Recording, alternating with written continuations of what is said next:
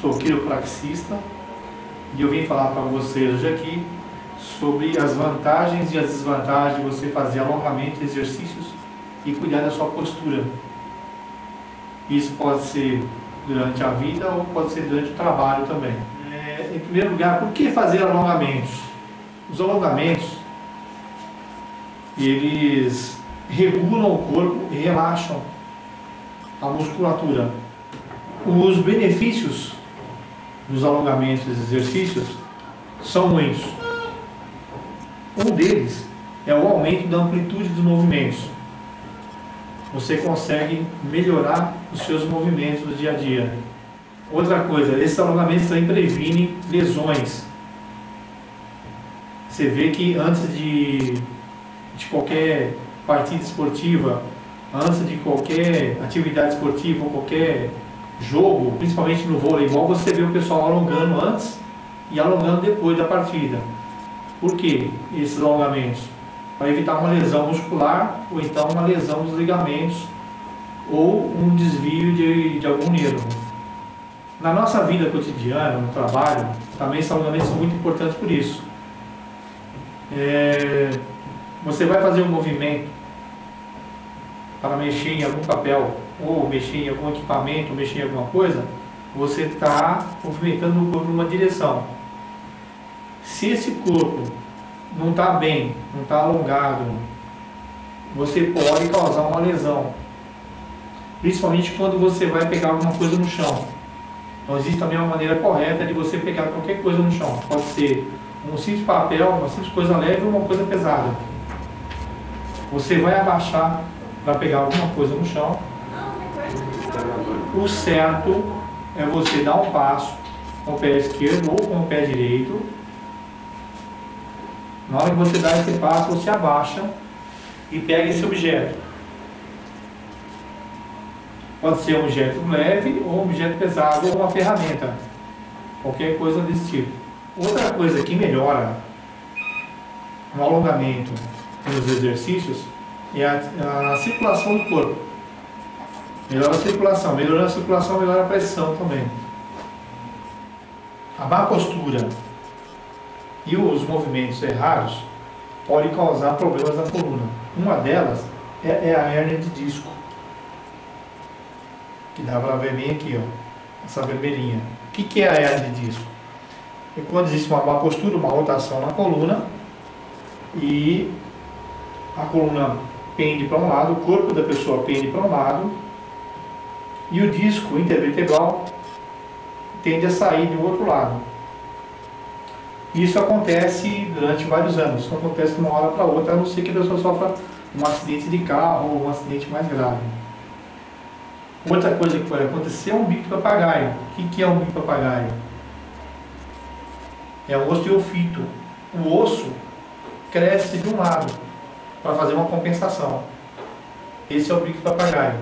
Também, tanto um bico papagaio quanto a hernia de disco são muito doloridos. Tudo isso tem tratamento com a quiropraxia. Agora, para evitar isso, é que existe o alongamento e os exercícios. É, quando fazer o alongamento e os exercícios? Os exercícios podem ser feitos de manhã, logo que você levanta, na cama, pode ser feito de manhã, pode ser feito no trabalho, quando você sentir uma tensão no trabalho, uma tensão muscular no trabalho, seja em qual parte do corpo for, você pode fazer o alongamento. Quando você ficar muito tempo em pé e muito tempo sentado. Que não é o ideal. O ideal é você ficar pelo menos uma hora sentado, depois você levantar e fazer esse sangue circular um pouco, durante pelo menos uns 5 minutinhos. Depois você volta a sentar novamente. Esse é o ideal. Mas se você tiver que ficar muito tempo sentado, o ideal é logo depois você fazer um alongamento para você soltar aquela musculatura e tirar a tensão em cima da, dos ligamentos. A bancada de trabalho e a mesa de trabalho tem que estar numa posição em que o seu corpo fica 90 graus dela. Não pode estar nem muito alta nem muito baixa. Isso vai criar uma tensão também na parte muscular, na parte do trapézio e na parte da cervical. Como vocês podem ver, a parte da cervical está aqui, que é a parte do pescoço. e a parte do trapézio e a parte das costas aqui nessa região.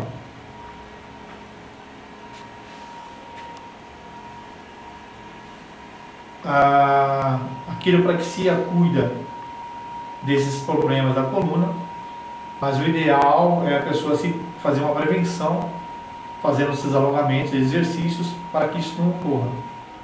Eu havia falado lá atrás que a mesa teria que estar em 90 graus em relação ao braço e ao corpo. Seria isso aqui, ó. A mesa teria que estar em 90 graus em relação ao meu corpo e em relação ao meu braço para poder trabalhar sem ter uma tendinite no braço, sem ter uma distensão do trapézio. Então agora eu vou fazer alguma demonstração de, de alguns alongamentos braço que pode ser feito em qualquer local, mesmo até em local de trabalho. Primeiro eu vou começar com o pescoço. Você puxa o pescoço, encostando ele no ombro, sempre contando até 20. Bem devagarinho para dar o alongamento. Contou, do outro lado a mesma coisa. Para trás, a mesma coisa. Para frente, a mesma coisa, sempre contando até 20. Depois que você fez esse alongamento, você gira o pescoço três vezes para a esquerda e três vezes para a direita. E esse é o alongamento de pescoço. Alongamento de braço. Você puxa o braço direito contra o peito, sempre contando até 20. Depois o outro também esquerdo. Alongamento com o cotovelo acima do pescoço, puxando ele para trás como se fosse forçar as costas. Também contando até 20. Com a esquerda a mesma coisa. Depois tem os alongamentos de perna. Claro que você vai fazer isso deitado no, no chão, ou numa cama, numa maca, algum lugar. Então você puxa a perna esquerda, levanta até onde você consegue chegar, até o seu limite, e conta até 20. A mesma coisa com a perna direita, depois com as duas pernas. E esse é o alongamento para a lombar e para a perna, para a coxa.